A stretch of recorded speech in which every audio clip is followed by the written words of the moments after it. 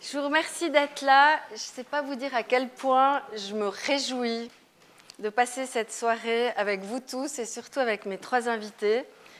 On l'a intitulée Soirée littéraire. C'est une soirée littéraire plutôt particulière, à trois voix.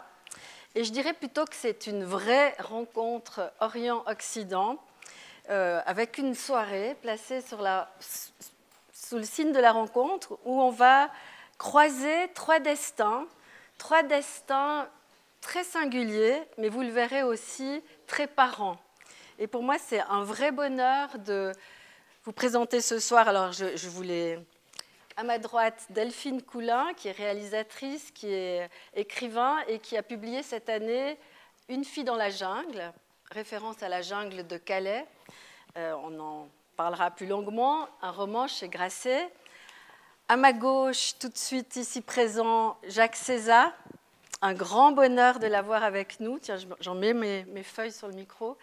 Euh, qui a écrit un livre magnifique qui s'appelle Lampedusa, allée simple on va aussi en parler. Et puis, euh, à côté de nous aussi, euh, Noumen Tabek, qui vit en Valais, euh, il faut me corriger si jamais, hein, depuis 2014, qui, a, qui est parti de Syrie en 2012 et qui est installé maintenant depuis 4 ans. Il est arrivé ici, il ne parlait pas un seul mot de français. Et vous allez vous rendre compte qu'il y a certains qui font beaucoup de chemin en 4 ans. Donc voilà pour généralement.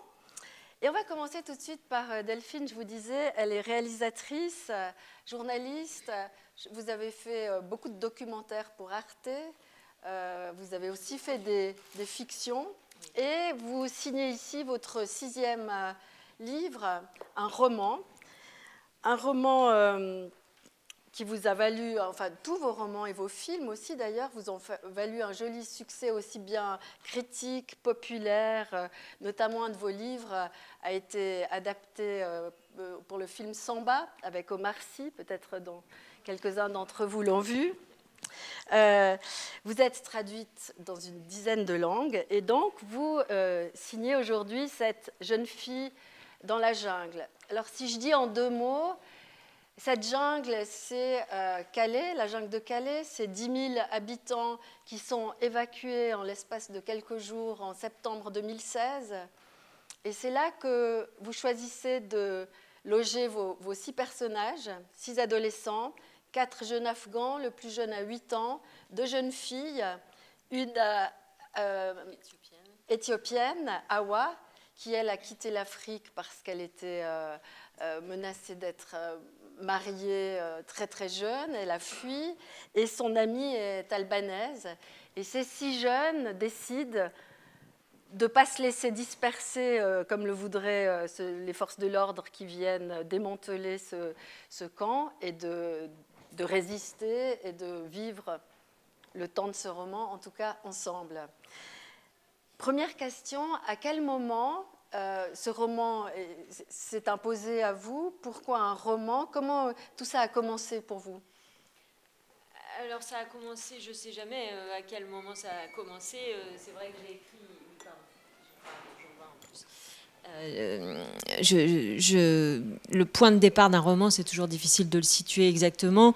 Il se trouve que avant déjà Samba pour la France, donc qui a donné lieu à l'adaptation dont vous parliez, j'ai pour ma vie même, je me suis engagée comme bénévole dans une association d'aide aux sans-papiers pendant trois ans. Mais c'était complètement euh, séparé de mon activité euh, de cinéaste ou de, romancière.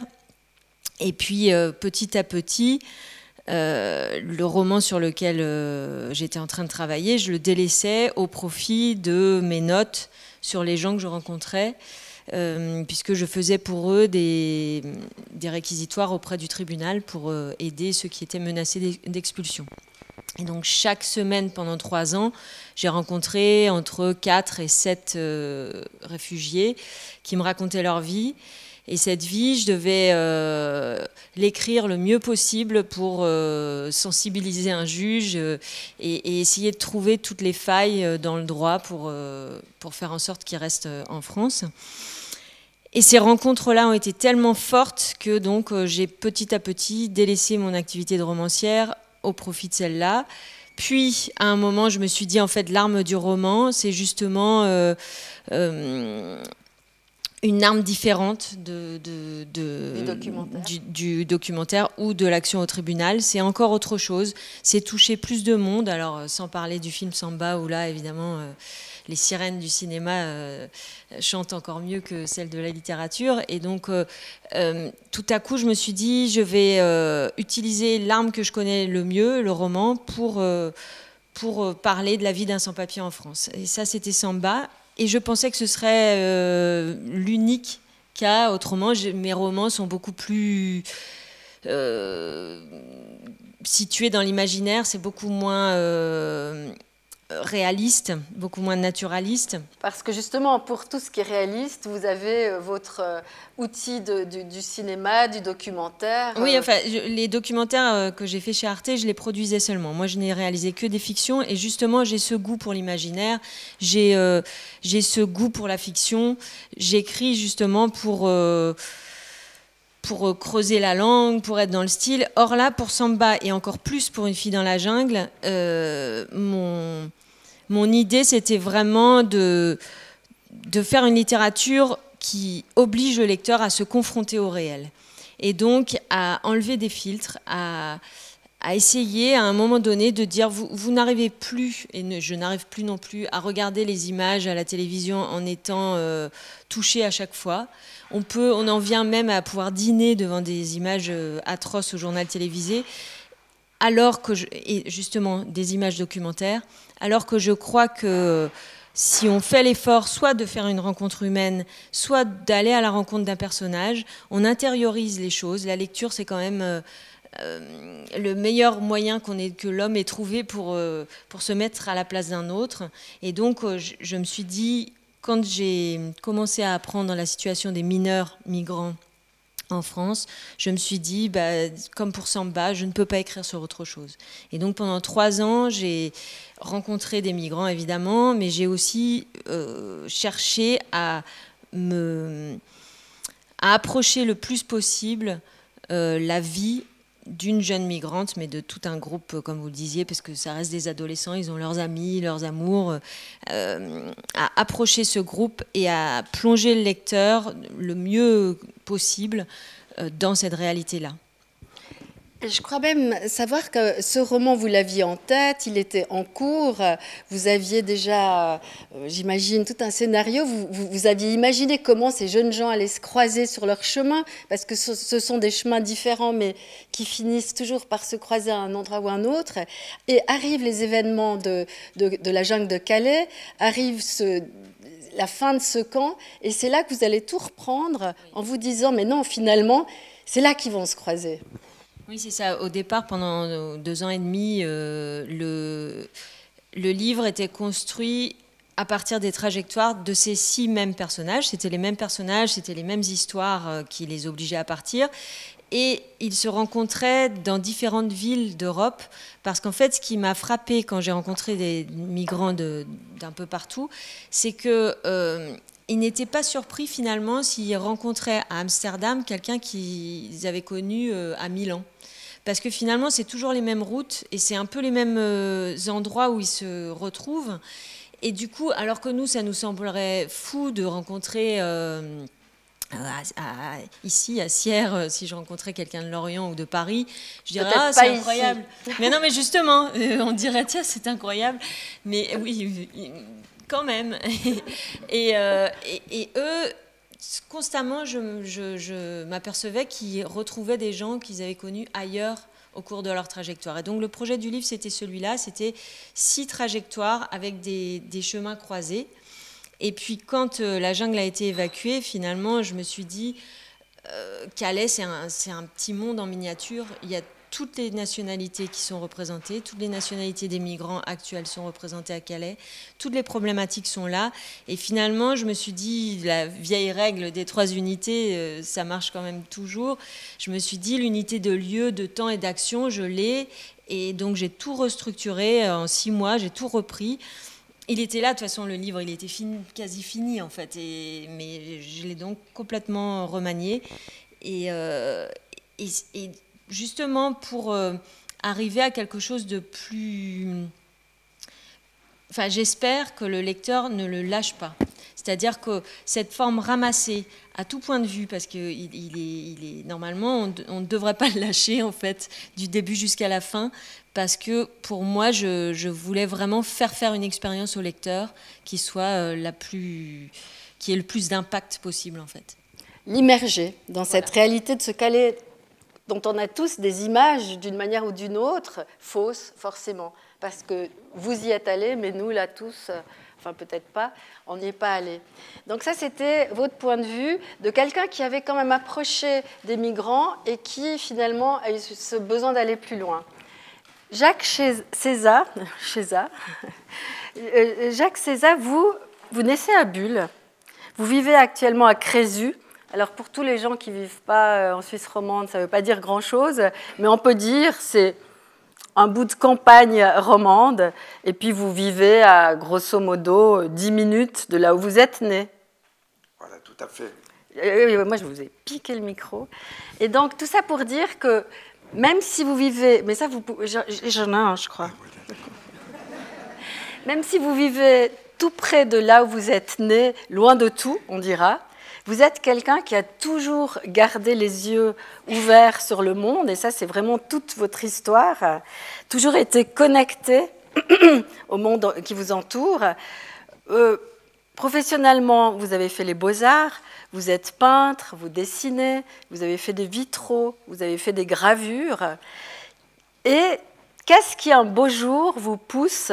Vous aviez, on ne devrait pas le dire, mais vous aviez 72 ans, dans 70 ans, c'était en fin 2015, début, 2016. Quelle mouche vous pique pour que vous décidiez de trouver euh, quelqu'un, une voiture, vous conduisez même pas, et vous décidiez d'aller faire la route, euh, aller simple vers Lampedusa, c'est-à-dire partir de Crézu à contre-courant à la rencontre de ces migrants pendant près de quatre mois. Alors effectivement, partir sur deux séjours de trois mois en 2015 et 2016 a été pour moi un périple, dans ce sens que je suis ancré dans ma gruyère natale, pris dans les montagnes, dans la nature et les paysages, qui pour moi, la nature m'aide à vivre, à survivre. Souvent, ces montagnes et les arbres, les sapins surtout, m'accompagnent, m'entourent, le chant des oiseaux, mais depuis l'enfance, tributaire des parents qu'on n'a jamais choisis, mais un, l'un d'entre eux, mon père, Henri, est italien, fils de saisonniers, migrants, plâtriers peintres venant du Piémont au début du siècle. Et par là, j'ai grandi dans l'atelier de mon père, qui était peintre en lettres, dans les odeurs des couleurs et des peintures, mais toujours avec cette notion qu'il venait d'ailleurs. Qu'est-ce que cela voulait dire par rapport à un copain paysan à Gruyère ou un des fils glaçons qui était mon grand copain d'école? La différence qu'il y avait, parce que dans mon livret scolaire, c'était marqué origine de Varallo Cesia Italia. Je ne parle pas la langue, mais cette différence m'a énormément marqué, m'a un peu différencié. Pourquoi quand il y a un match de calcio Suisse-Italie, je suis un grand partisan de la squadra. Euh, pourquoi j'ai voulu appeler euh, mon chat bouffonne à lieu et place de la, porter un autre nom Tout cela, ça rôde dans le sang de manière inquiétante et mystérieuse. Et pour régler un peu ses comptes avec l'enfance, avec le passé, avec les sales affaires que la Suisse a dû régler du temps déjà de Schwarzenbach et des autres lois. Donc on s'est toujours battu de manière assez forte pour défendre les saisonniers. Et les saisonniers, leur parti, on l'a pris quelques-uns dans la petite ville de Bulle en se bagarrant, en résistant et en luttant. Des amis saisonniers sont devenus mes amis, je suis parrain d'enfants qui sont aujourd'hui retournés en Italie. Et tout cela a fait qu'un jour, par rapport à ces dix dernières années de drame et de douleur qu'on vit partout, une idée m'a prise un matin eh bien, je vais faire l'inverse de mon grand-père plâtrier qui, passant par Saint-Étienne, arrivant à Lausanne, est venu à Bulle. Moi, je vais partir de Bulle, passer le Simplon, descendre le long de l'Adriatique jusqu'à Foggia, passer par Rome et descendre par la Calabre jusqu'en Sicile pour atteindre Lampedusa. Ce parcours, j'ai bénéficié d'énormément de rencontres en Gruyère avant de partir, et c'est un peu les migrants, les réfugiés qui sont en Gruyère, où il y a des centres où ils sont accueillis aujourd'hui, qui m'ont en fait un peu dessiné mon parcours sur une carte. Et à partir de lieux qu'ils m'ont donné, des adresses connues, eh bien, mon parcours a été extrêmement vite fait. Donc, mon but était de passer dans ces centres d'accueil où eux ont passé pour aller voir un petit peu les nouveaux migrants qui montent depuis l'Afrique vers le nord. Et cette marche perpétuelle continue depuis dix ans et va ne pas s'arrêter encore euh, pour très très longtemps, je vous le garantis. Alors, je vous remercie.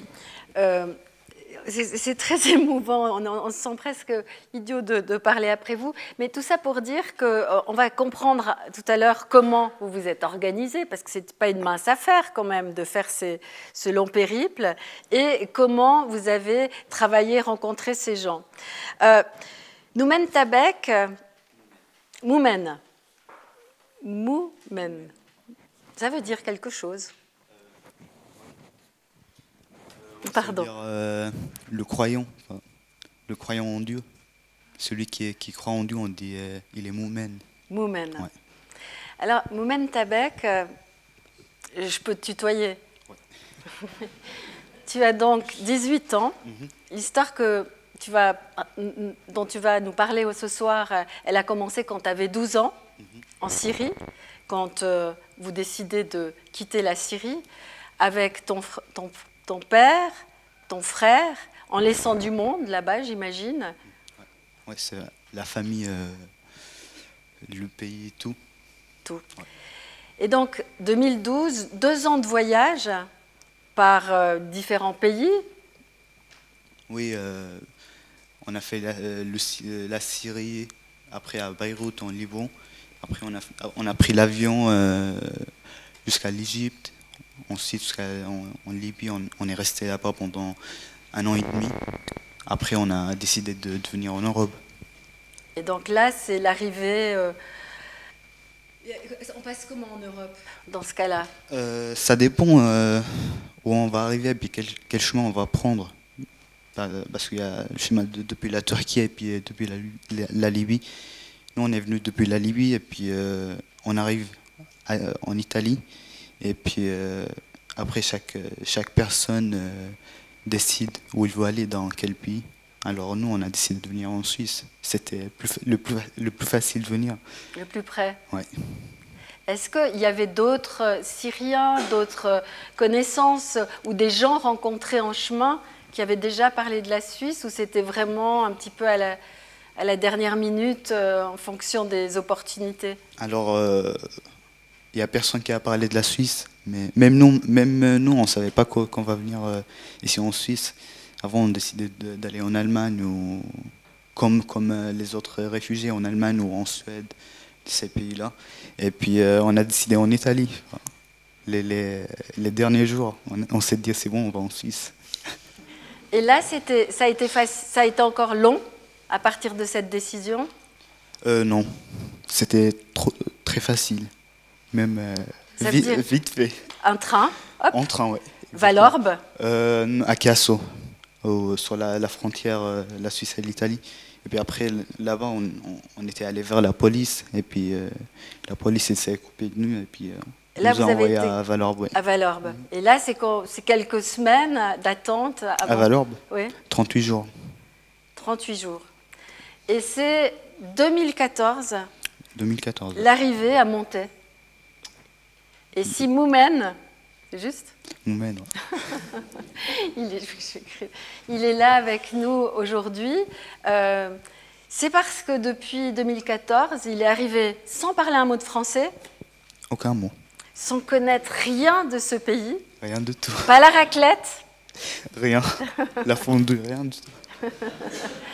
Eh bien, en quatre ans, il peut nous parler ici ce soir. Il a réussi euh, les, premières. Euh, là maintenant, c'est une école de. De, culture, générale à monter. Et je suis sûre que ça se passe bien. Oui. Avec l'envie un jour de devenir euh, professeur de, sciences. sciences Toujours? Toujours. Ça, c'est sûr et certain. Et quand René Pierranti a entendu parler de Moumen, il a lu un article dans le Nouvelliste mhm. et il était cité comme un cas d'intégration spectaculaire. On, va, on va revenir sur ce chemin et cette intégration surtout. Euh, j'aimerais retrouver euh, Delphine Coulin pour savoir comment. Euh, après, on va poser. C'est un peu particulier. Hein. J'avais envie que, puisqu'on croise, on croise jusqu'au bout. Alors, vous allez faire comme ça des allées et venues entre nos invités. Quand on, décide, justement, on l'a dit, vous avez travaillé avec ces sans-papiers bénévolement, vous avez été, comme tous ici, j'imagine, dans cette salle, marqués par tous les événements, par tous les drames qui se jouent autour de nous depuis quelques années. Et puis, euh, vous avez euh, commencé à utiliser les rencontres. Et les j'ai pas l'habitude d'avoir euh, ce truc-là. Euh, vous avez utilisé les témoignages pour être, comme vous le disiez, faire de la fiction, mais crédible, qui emmène vraiment le lecteur. Et le jour où justement Calais s'est effondré, que vous avez chamboulé tous vos plans pour situer votre roman à, Calais, comment vous avez fait? Vous étiez déjà allé? Comment vous êtes documenté pour continuer à rester crédible, au plus près? Oui, oui, j'étais déjà allée avant et je suis allée après. Et c'était très choquant de voir que. Enfin, c'était une ville, hein, la jungle de Calais, c'était 10 000 personnes, c'est quand même une petite ville. Il y avait des commerces, il y avait des, coiffeurs, des salons de coiffure, il y avait des restaurants, il y avait des, églises, des mosquées, euh, il y avait une école. Euh, et puis tout à coup, quand j'y suis retournée après le démantèlement, euh, bah, c'était une, lande avec euh, des pancartes disant que personne ne devait plus aller là. Euh, donc effectivement, c'est...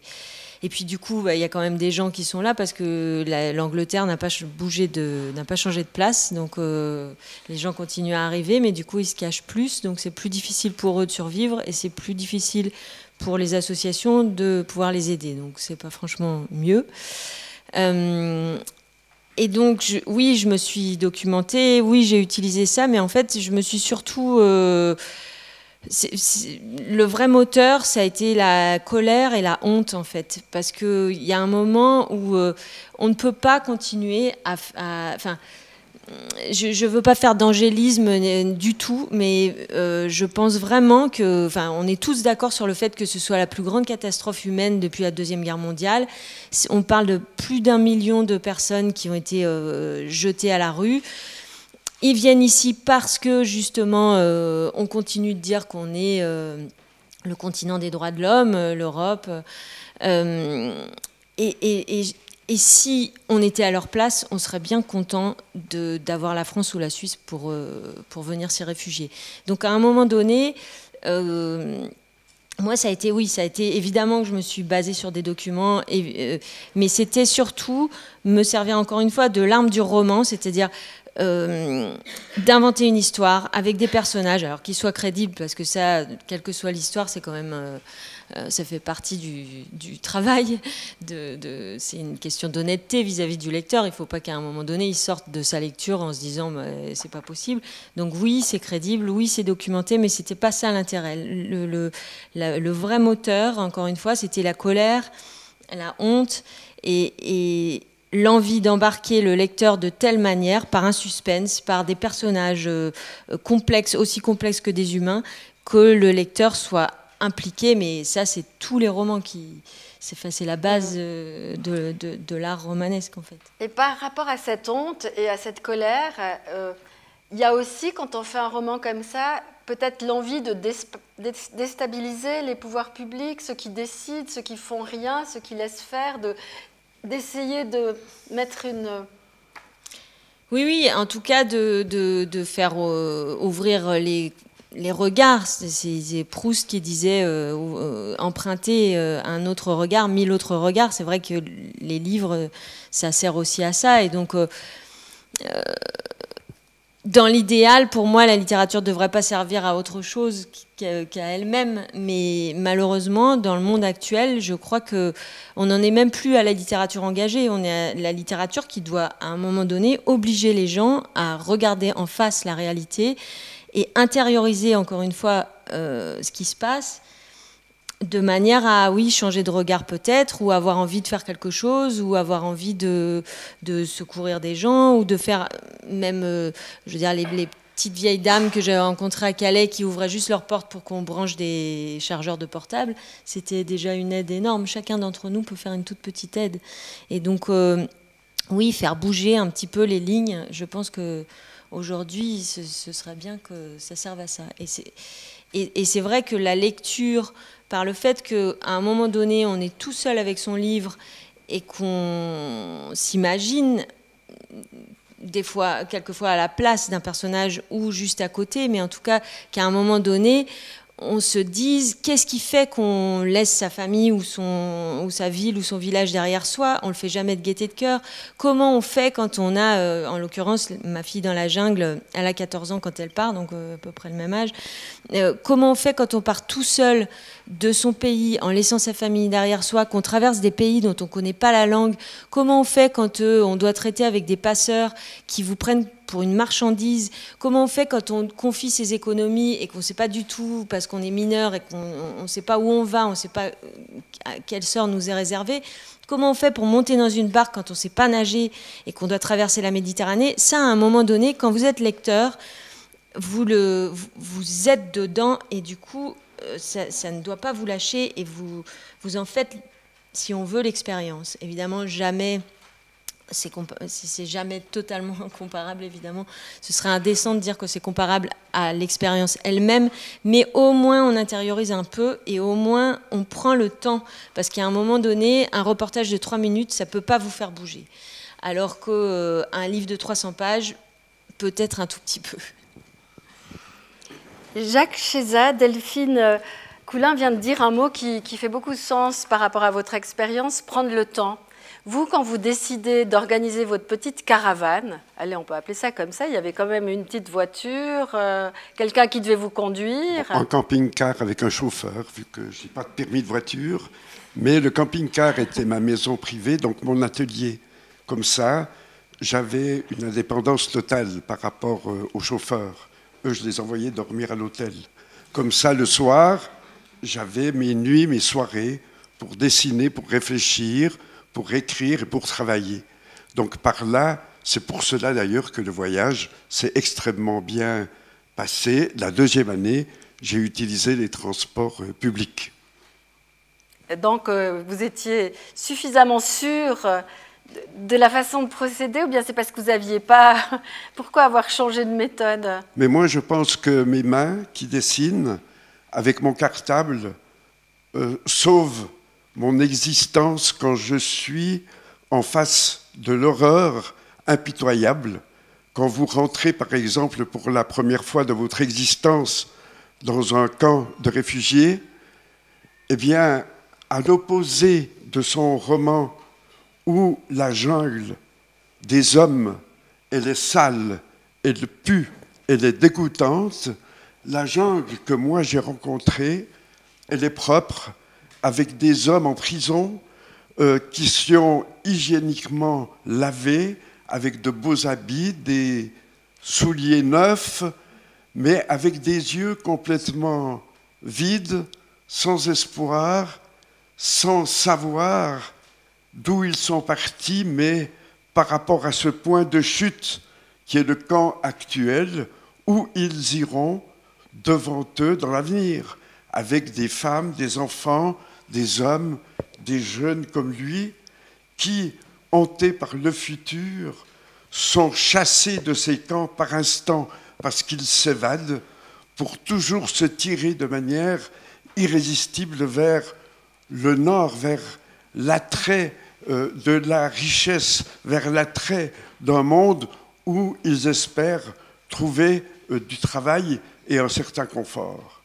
Donc moi, je suis resté toujours de ce côté-ci des choses, et si j'ai pu pénétrer dans les camps, c'est grâce à des passeurs, euh, les gens qui travaillent à l'intérieur des camps, comme Terre des Hommes Italia par exemple, qui m'ont passé de manière un peu clandestine dans ces camps, parce qu'autrement, jamais j'aurais pu pénétrer à l'intérieur. Alors je faisais des petits boulots avec eux, et puis c'est à partir de là, en restant une semaine, huit jours dans le même camp, que vous arrivez petit à petit à aborder les gens. Mais mon langage, c'est le regard, c'est les yeux, c'est la main qui dessine. Donc au départ, ils étaient un peu surpris quand tout à coup, euh, à une table, une femme passe et elle voit que je dessine, elle s'intéresse à mon travail, c'est un espèce d'effet miroir, et c'est le dessin en fait qui crée des rencontres. Moi, j'ai fait ce voyage dans le sens aussi euh, euh, du roman euh, de votre jungle. Moi, je l'ai fait beaucoup plus dans un sens de témoigner, mais en gardant comme un secret la dignité des êtres humains, ou par exemple dans mon journal de travail, je n'ai jamais osé révéler toutes les horreurs épouvantables qu'on m'a racontées. Donc, au départ, je me suis dit, je suis peintre, je dessine, et j'ai essayé d'assumer ce rôle jusqu'à la fin. Et ma découverte par rapport à vos mondes, par rapport à l'Orient, par rapport à la culture musulmane, par rapport à une culture où il y a peu de représentation figurative des choses, je passais presque pour un clown ou pour un rigolo de dessiner des gens qui jouaient au ping-pong dans un jardin, dans un camp de réfugiés. Et puis au bout d'un moment, ils étaient très vite là de me voir dessiner, mais c'est là que moi je prenais place, et j'ai été, pour ainsi dire, tout le temps, il fallait deux jours, trois jours, pour être complètement à l'aise dans un rapport très direct avec les gens. Et moi, mon langage, c'était le dessin.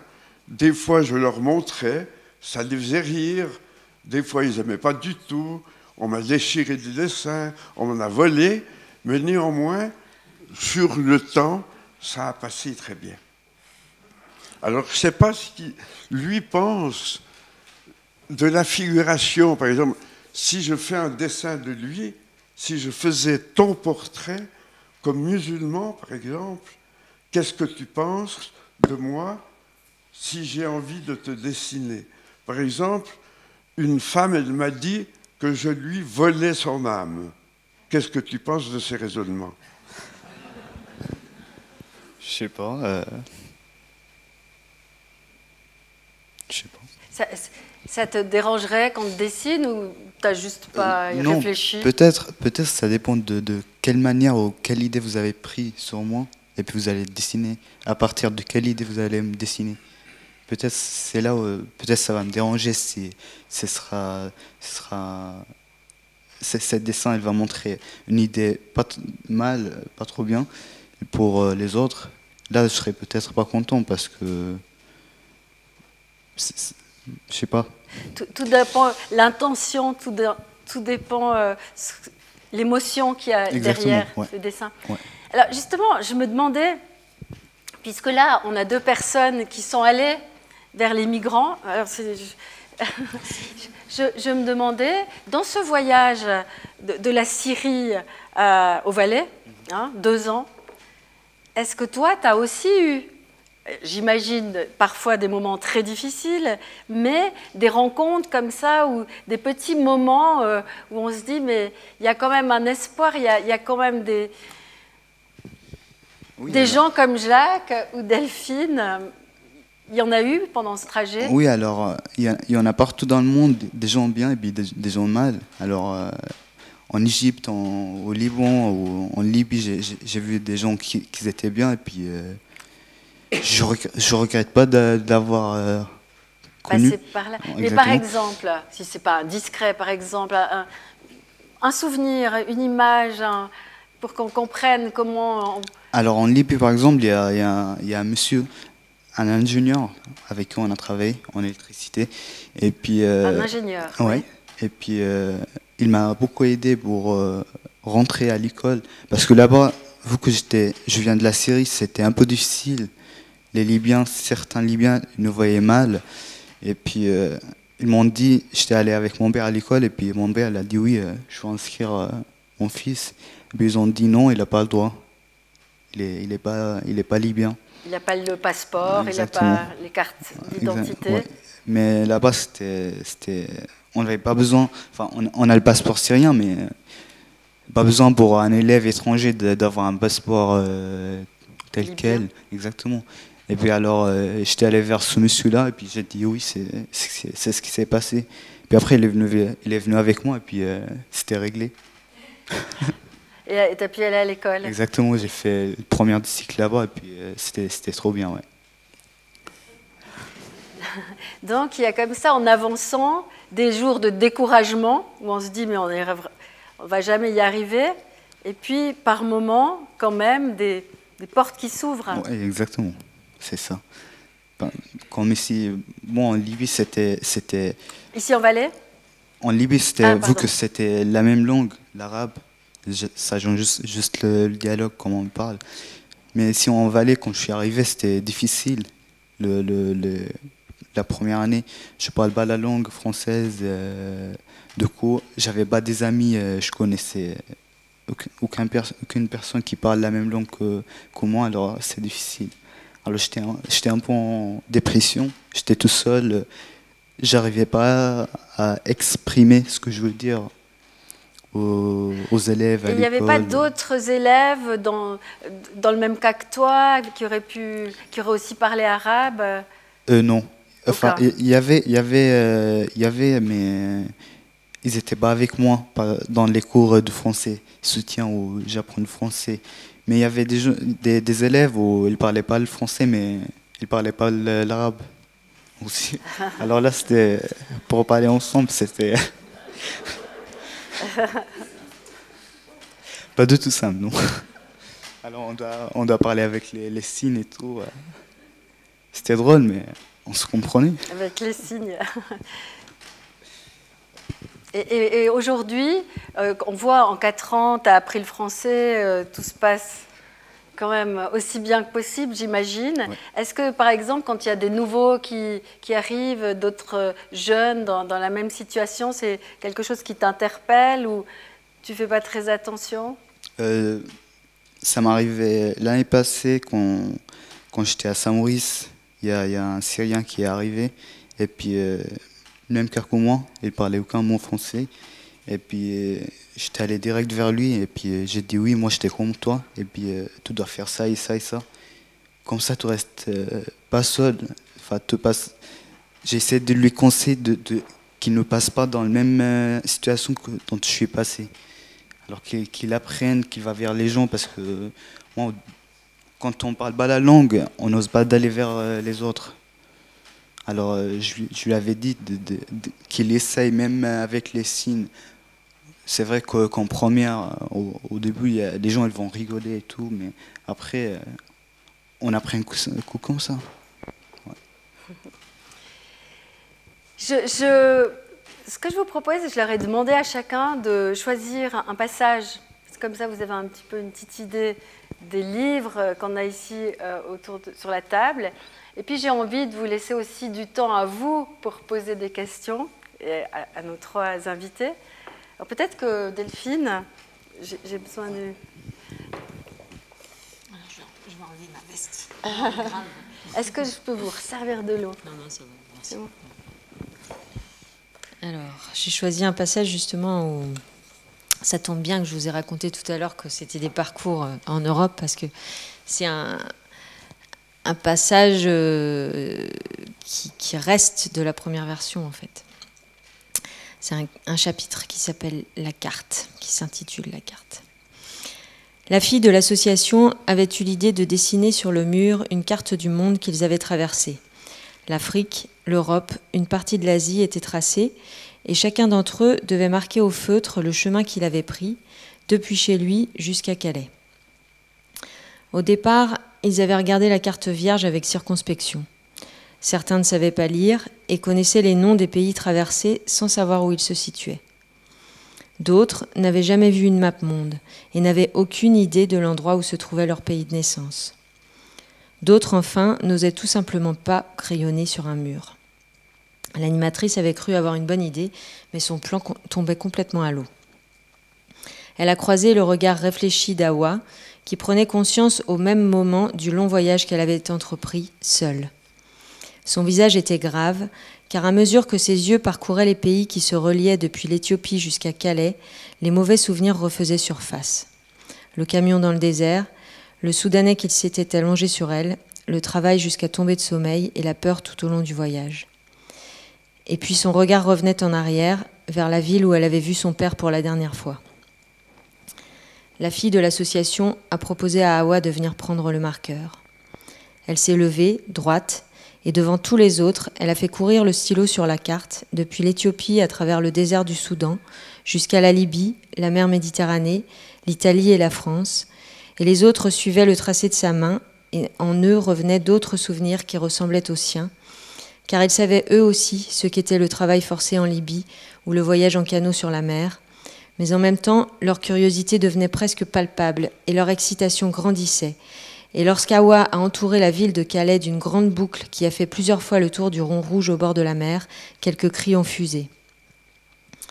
Seydou, un Malien de 15 ans, s'est avancé à son tour et lui a pris le feutre. Et sa ligne est venue ajouter un chemin sur la carte, depuis Gao jusqu'à Paris, et d'autres cris ont salué son arrivée à Calais.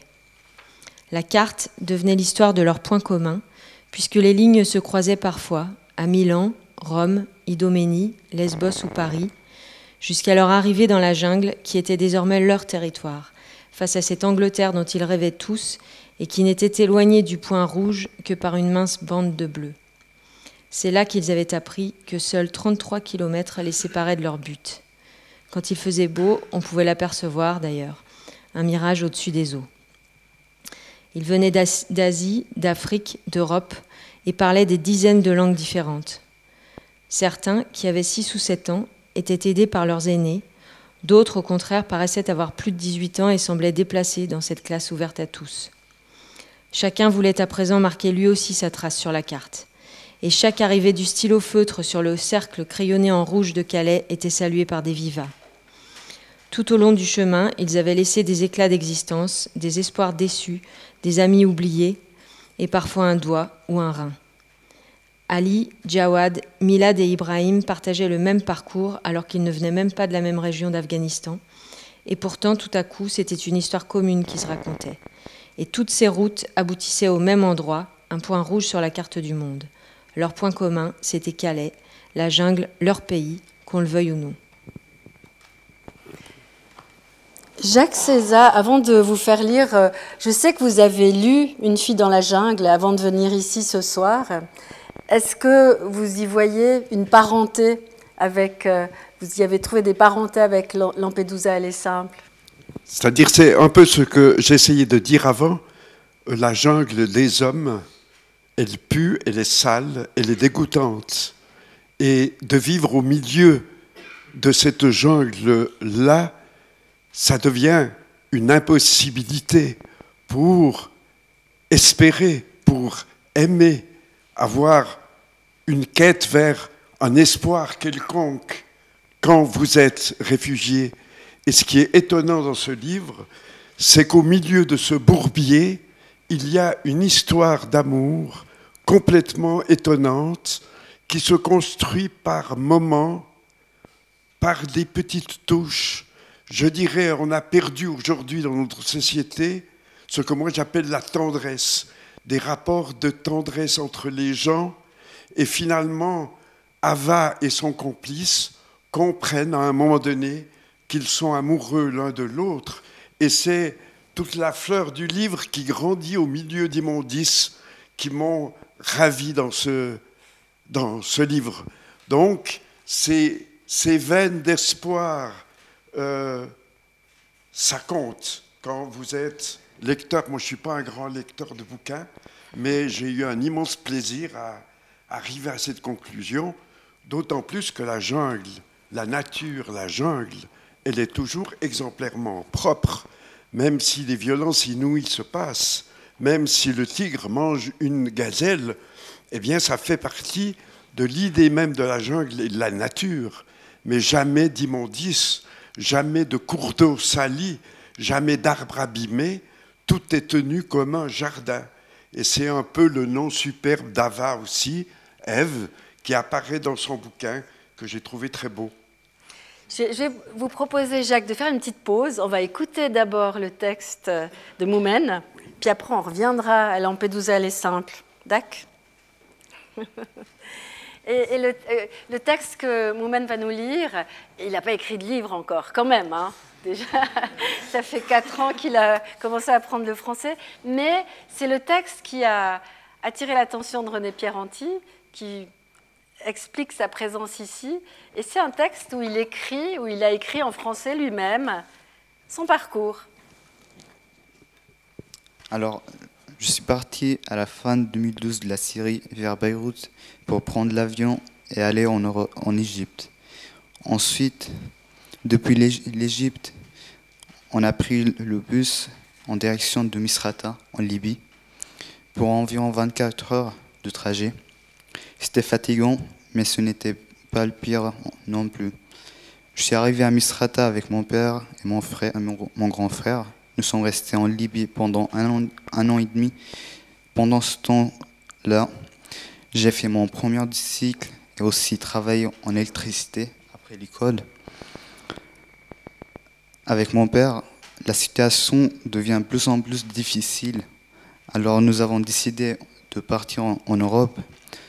Nous, euh, nous, nous sommes organisés, nous avons payé pour aller sur, un bateau. En attendant notre tour pour partir, nous sommes restés pendant 15 jours dans une maison enfermée où nous ne pouvons pas sortir. Nous étions plusieurs de plusieurs origines. Ces 15 jours étaient si difficiles parce que la, maison était abandonnée, donc il n'y avait, avait rien qui, fonctionnait. Un jour le matin, nous recevons un appel pour nous préparer de partir, mais la direction était inconnue un monsieur qui, qui nous a déposé dans un, dans un verger, sans manger, sans boire, et la chaleur était environ 40 degrés. Nous avons entendu jusqu'à le soir, et là, c'est le temps de, de, de, monter sur le bateau. Pour arriver sur, sur le plage, nous avons dû marcher plus qu'une heure. Nous sommes sur, le bateau vers le 3 heures du matin. Je, n'ai toujours pas constaté le la danger qui, nous attend. Avec le lever de soleil, du soleil, le, bateau, le bateau s'est arrêté pour des problèmes mécaniques. Les requins commençaient à tourner autour du bateau. Nous avons dépassé ce problème grâce à un mécanicien qui était sur le bateau avec nous. Quelques heures après, j'ai regardé autour de moi, je ne vois rien de tout, à part le, plus, le ciel et puis la mer. Et là, j'ai commencé à avoir peur. Après avoir fait 18 heures sur ce bateau, qui était trop petit d'ailleurs, le garde euh, côtière nous a pris sur un grand bateau et, et, en ce moment tout le monde se sentit mieux et en sûreté. Pour arriver en Italie, ça a pris trois jours avec le petit bateau. En Italie, la police s'est occupée de nous. Nous sommes restés une semaine à Milan pour réfléchir dans quel pays nous allons y partir. Après une longue discussion, nous avons décidé de venir en Suisse car nous, nous avons, nous, nous excusez-moi, car nous en avons entendu parler. Nous avons pris le train de Milan et en Suisse, la police s'est occupée de nous et nous a, nous a orientés où il faut aller à Valorbe. Nous avons resté 38 jours dans le camp à Valorbe et nous étions transférés, transférés en Valais. Merci.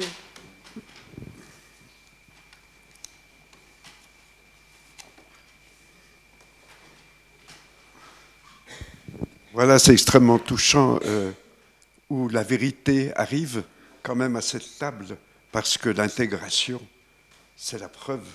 Elle est possible, elle est, plausible. Et nous qui habitons en Suisse, nous sommes en Suisse sur ce territoire, et ce qu'il vient de dire, ça se passe en Suisse. C'est ça peut-être qu'il faudra retenir comme leçon principale.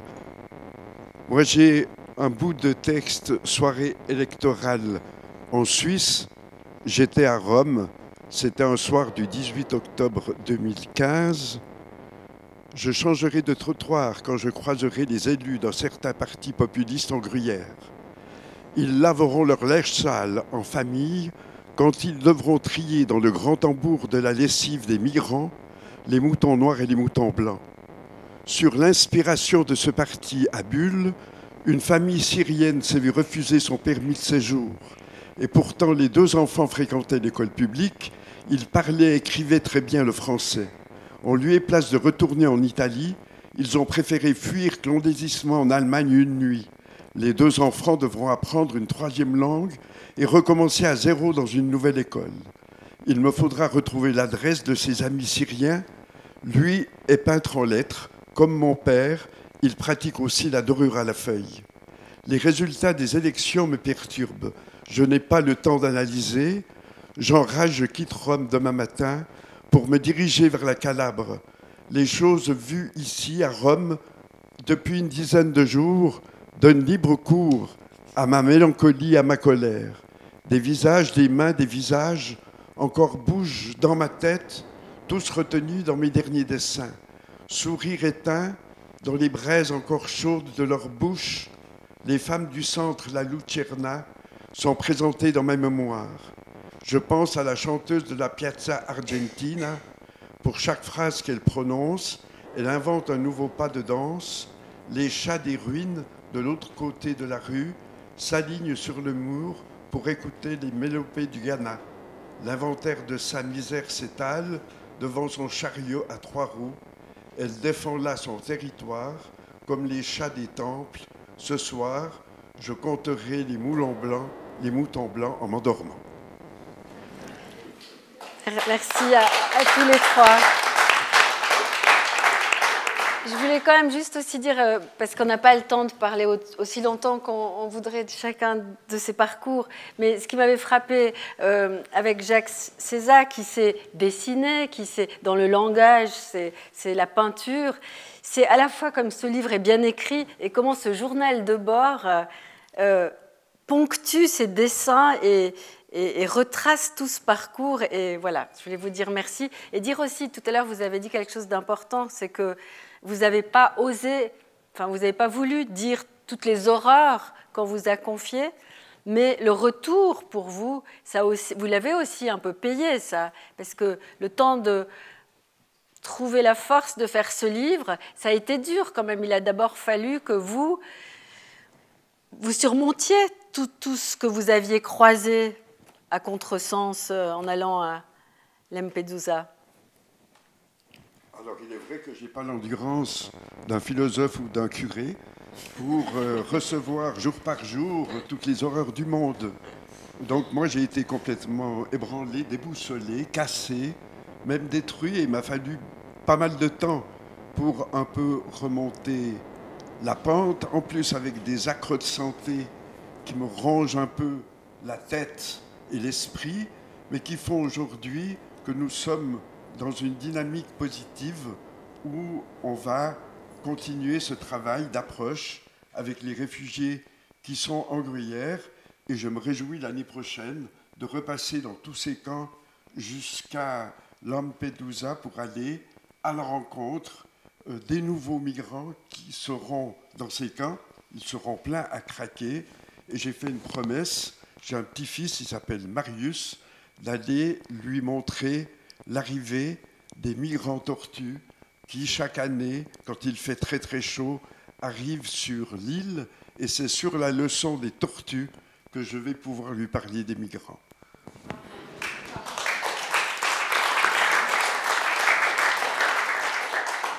Voilà. Donc, euh,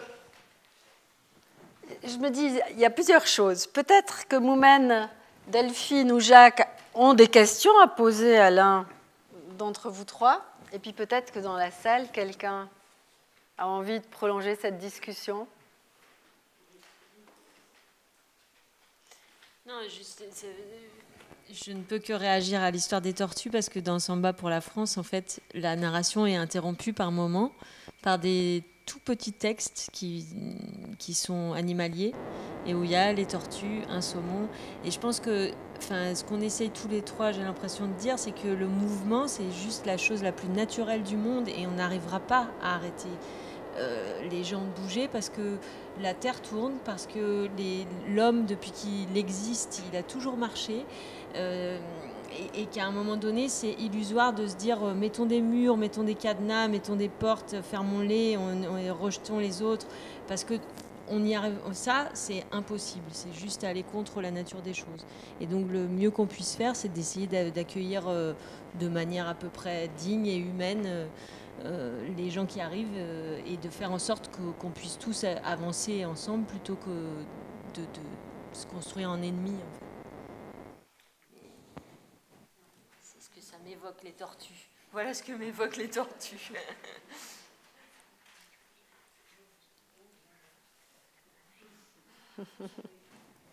Je crois que je...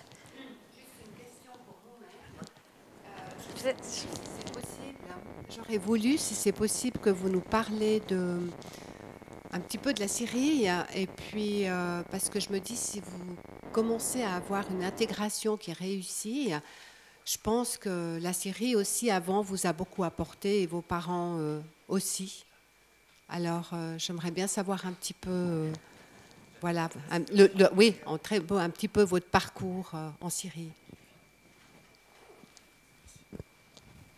Alors actuellement ça, change, la, situation elle change que avant le avant 2012 malheureusement parce qu'on a une situation de guerre et puis je crois qu'on ne peut pas comparer la situation de maintenant et puis la situation de avant 2011. Ouais. Alors avant c'était le paradis.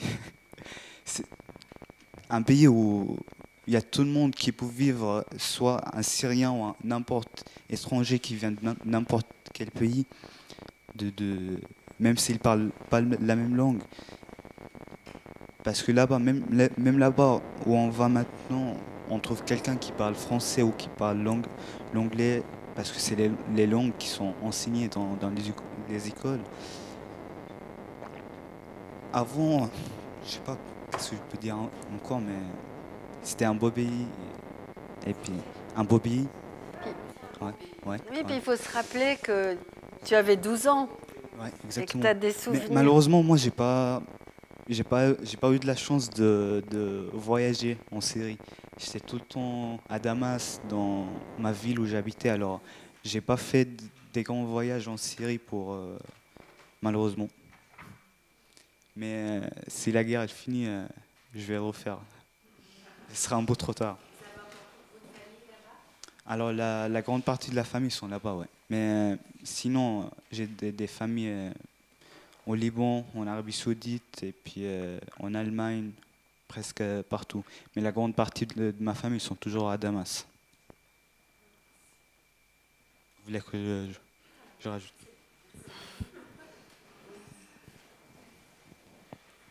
Bah, Ce que je vous propose, c'est que de toute façon, vous pouvez continuer cette discussion parce qu'il va encore rester un petit peu. Je sais que Jacques et Delphine sont prêts à vous signer des livres et puis surtout, j'allais l'oublier, Jacques a amené quelques dessins si ça vous intéresse euh, qu'on pourrait disposer euh, sur une table là-bas si certains sont intéressés à les voir Oui, c'est simplement en témoignage. C'est pas du tout euh, où je veux vous raqueter pour vendre des dessins. C'est absolument pas ça l'objet de but.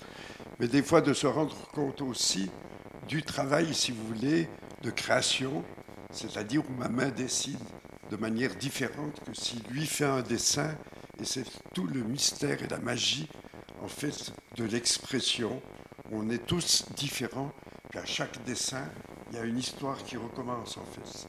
Alors voilà, si ça vaut plaisir d'en regarder quelques-uns, j'en mettrai quelques-uns comme ça pendant un moment sur une table dans le hall. Merci beaucoup de votre écoute.